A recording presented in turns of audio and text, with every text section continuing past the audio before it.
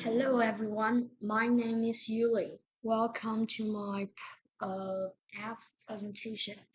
My app's name is called Catch That Garbage. this is a game to promote protecting the ground ecology. Now the ground ecology is suffering from a disaster. Many people just throw garbage on the ground, causing environmental pollution. This is extremely bad for the earth. So I want people to be more environmentally cautious. So I made this game.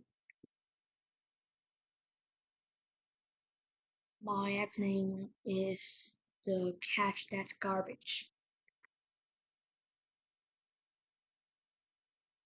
Screen one has a label, a image, and two buttons. When we click look at rules, it will change to the screen three, and screen three is the rules.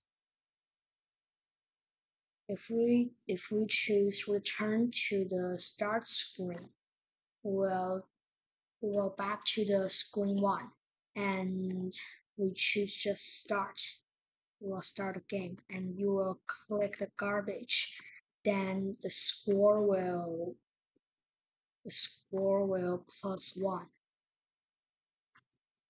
If the score is big than 10 then you'll win. This is the restart button